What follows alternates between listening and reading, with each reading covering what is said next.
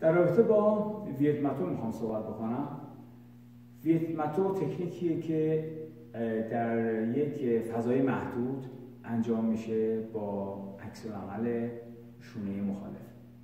ویتماتو ساخته شده طراحی شده برای زمانی که ما محدودیت داریم. این محدودیت فضا وجود داره برای انجام تکنیک. داستانش هم به این شکلی که وقتی که دستبند به دست زندانیا می‌زدن و ازشون می‌خواستن بیگاری بکشن که اینا حالا فرار نکنن برای انجام تکنیک اینها اون فضای لازم رو برای انجام این تکنیک ما به حالت رفتو که هستیم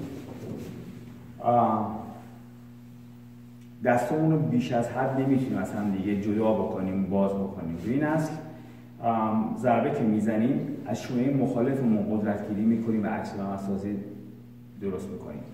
مثلا ضربه که به این شکل زده میشه معمولا میگید متو رو ما به حساب متو نمی‌تونیم بزنیم چون همونطوری گفتم فضایی نیستش که دست کامل باز شه.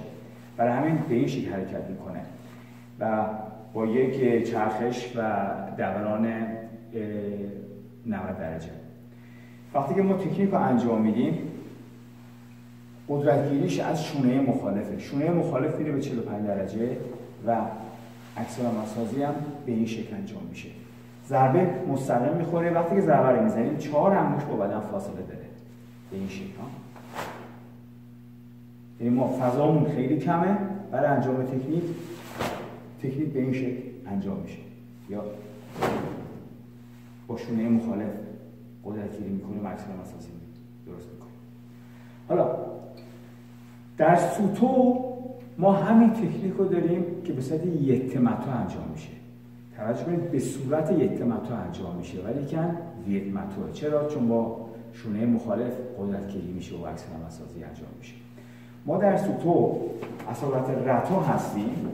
از این حالت وقتی که حرکت می‌کنیم به جلو به صورت یتمتو آرجمون میاد جلو و بعد که بازش می‌کنیم که یتمتو بزنیم شونه مخالفمون قدرتگیریشو و اکسال مسادش رو انجام میده. به این شکل.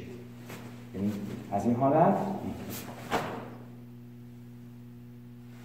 که به این شکل انجام میشه و در آخر به این حالت بیسته یه بار دیگه انجام میدم.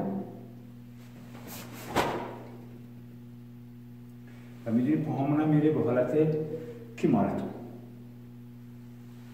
پس خود ویتماتو به این شکل انجام میشه.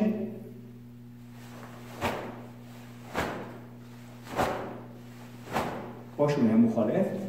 ولی در سوتو ما یتمتوش می‌کنیم به صورت یتمتو انجام میدیم نه که خود یتمتو باشه. یعنی به این شکل عمل می‌کنه. اما باز همون چهار انگوش اولا فاصله داره و شونه مخالف عکس نماسازی رو انجام بده دو حالت کیمارتون.